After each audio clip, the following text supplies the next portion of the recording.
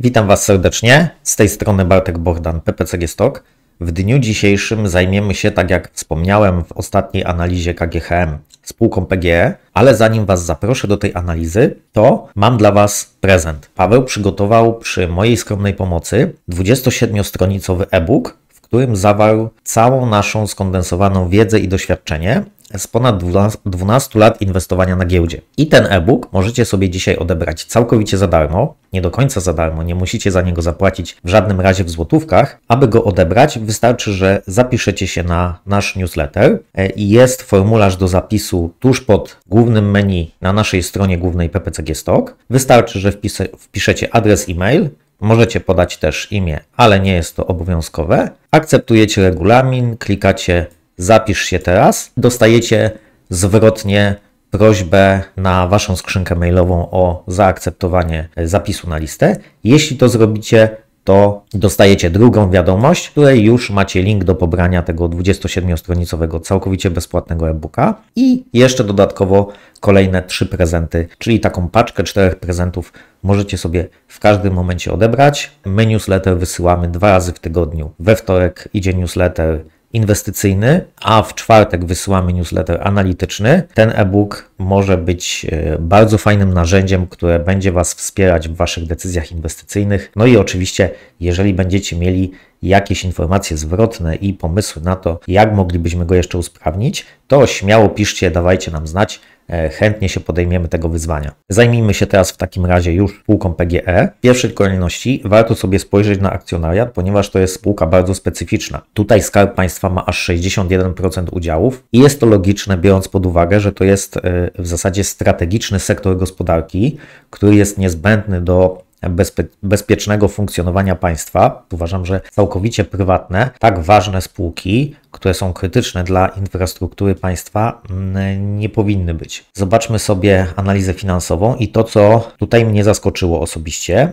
to to, jak gwałtownie spółce rosną przychody. To jest oczywiście związane z rosnącymi cenami energii. Ten trend zaczął się już przed pandemią, i gdzie spółka PG gwałtownie zaczęła zwiększać przychody. Te przychody za ostatni okres czerwcu 2023 są, jak widzicie, rekordowe. W ślad za tym nie podąża zysk. No ten zysk jest wysoki, spółka jest rentowna, generuje e, dodatni zysk netto, generuje dodatnią EBITDA. W przeciwieństwie do przychodów widzimy tutaj lekki spadek. Jeśli chodzi o przepływy pieniężne, to co zaliczam spółce na plus, to jest fakt, że co prawda mamy je mniej więcej na stałym poziomie, ale utrzymują się dodatnie przepływy z działalności operacyjnej. Już niestety mamy tutaj co jakiś czas tendencję do generowania ujemnych, wolnych przepływów pieniężnych. No i prawdopodobnie jest to jeden z powodów, nie oczywiście jedyny, dla którego spółka nie wypłaca dywidendy. Jeśli chodzi o wskaźniki, no to oczywiście patrzymy sobie na rentowność i rentowność mamy dodatnią, ale niestety na bardzo niskim poziomie, bo niecałe 6%. Mamy dużo więcej tendencji negatywnych, czyli spadek rentowności aktywów i kapitałów, to się też oczywiście przejawia spadkiem ROIC, spadek marży zysku netto, zysku operacyjnego. Zastanawiałem się, czy w ogóle mówić o zadłużeniu, bo to zadłużenie zdecydowanie rośnie,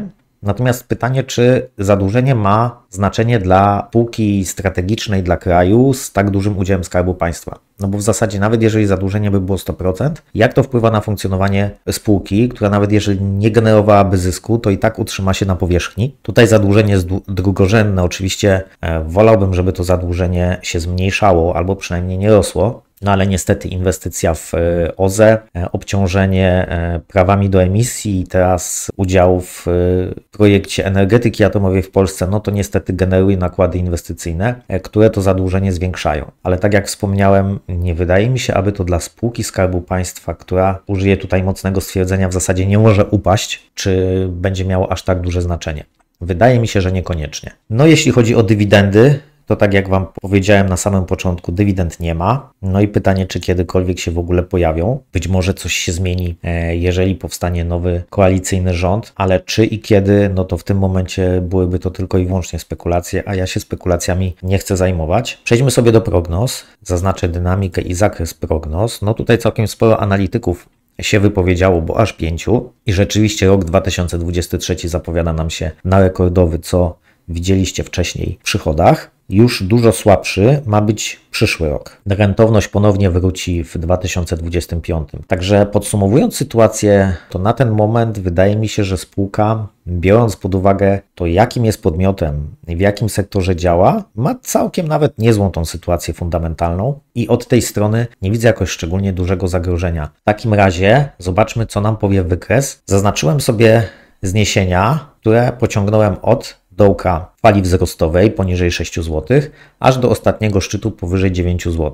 Jak widzicie, to zniesienie całkiem nieźle się pokrywa z ostatnim dołkiem LTTM, który był testowany. Ten dołek LTTM jest w okolicach 6 zł 58 groszy i jest to jednocześnie zniesienie 78,6%. I cena spadła od szczytu dosyć dynamicznie do tego punktu i zaczęła odbijać. Tutaj na dołku nie mamy niestety przewagi popytu to jest mniej więcej chyba to miejsce dokładnie. Gdyby ten słupek wolumenu na tej szpulce był taki, to rzeczywiście mielibyśmy tutaj sygnał kupna. Na ten moment mamy tutaj jednak respektowanie tego zniesienia. I co ciekawe, ruch w górę koreluje się z rosnącym wolumenem, czyli z byczym wolumenem. Może to być już impuls wzrostowy, może to być e, impulsowa fala C e, korekty ABC, czyli fali czwartej, bo mielibyśmy tutaj na Przykładowo, gdyby cały spadek od szczytu był impulsem spadkowym, jedynkę, dwójkę, tutaj by była fala trzecia i tutaj by była nasza fala czwarta o takiej strukturze. Tutaj mamy A, tutaj mamy głęboką falę B,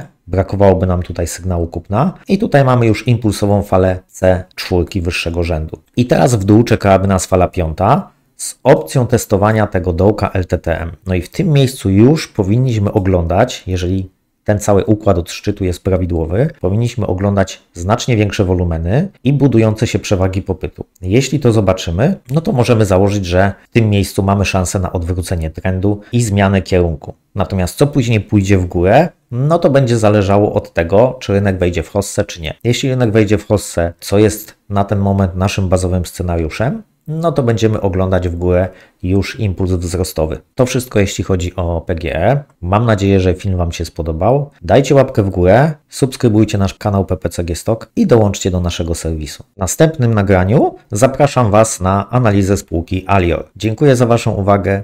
Jedziemy po sukces. Cześć!